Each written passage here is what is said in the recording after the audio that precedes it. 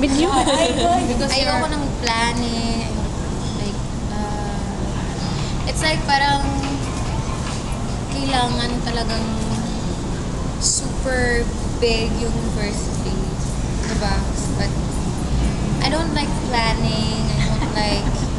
Because it's too much pressure. like, I hate birthdays. I hate getting older.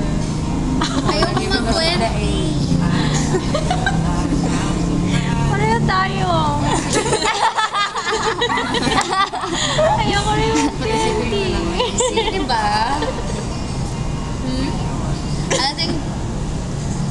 Cute.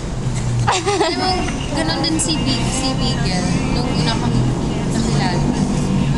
Female version ni Bigel. Ayaw niya talagang matingin sa sa mata ko or kasi 'di ba pag uh, may usap ka, is that right? Oo. Yeah.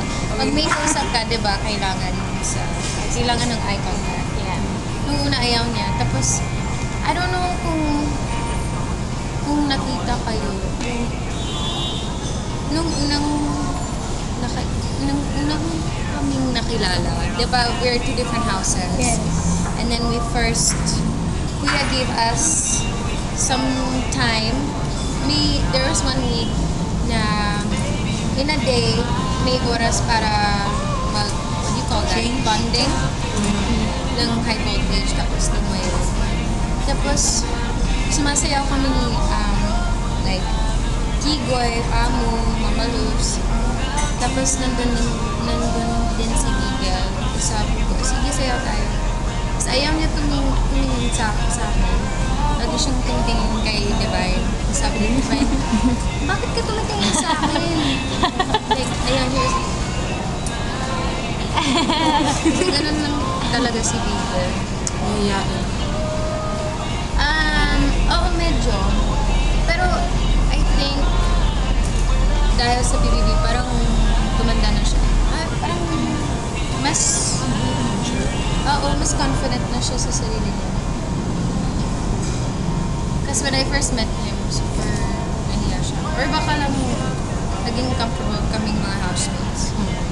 Because we, we used to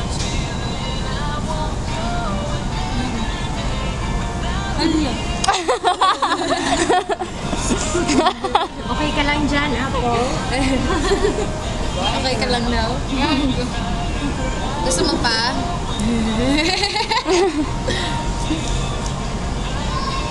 Ang cute mo talaga ng ano.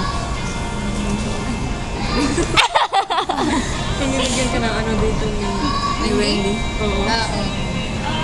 Sabi niya, ba ang ganda-ganda ng... Ay, di ba Wendy? Oo, um, slave? Oo. Oo. Yeah, that time Carlo was very mean to you. Ay? Hindi. He was, he was, uh, I think he, he told you to wash his Underwear. Yeah. Kahit task lang You yun. know, ka, got Carlo.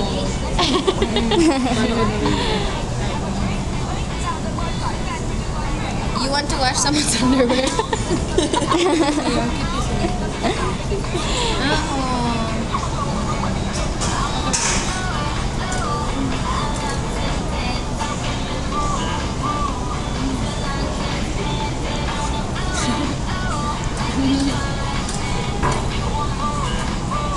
Yan lang. Nga.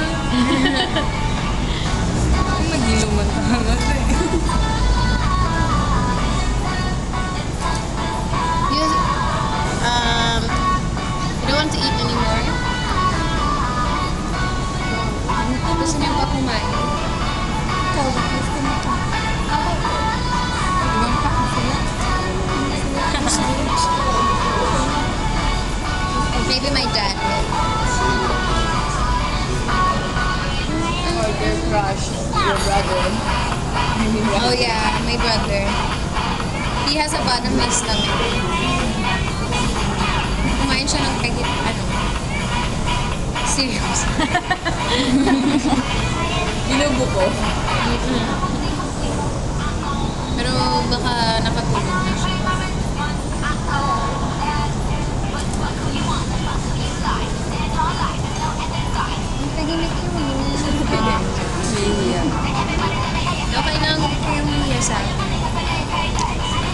30 minutes na lang.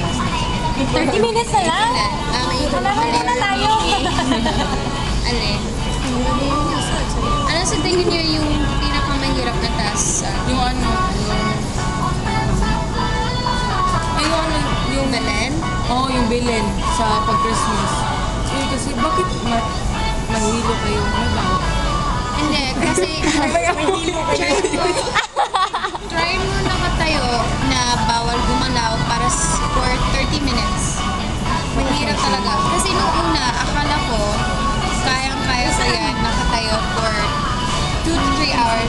Kasi di ba 10 hours yung total. So sab sinabi ko, ay kaya ko yan for 2 to 3 hours. Around the first 15 minutes, diba, I passed out. Yeah. So that's it. Ano ginawa niyo yung uh, Pauline? Oo. Yung price? Oo. Oo. Yeah. So, we're so happy that we won that. Sobrang mahirap yun. Yan. Grabe, super sakit yung kita namin, yung lahat. I've never felt like that before. Tapos naging cow ako kasi ayokong tumayo. Yeah. Yan lang. Sure.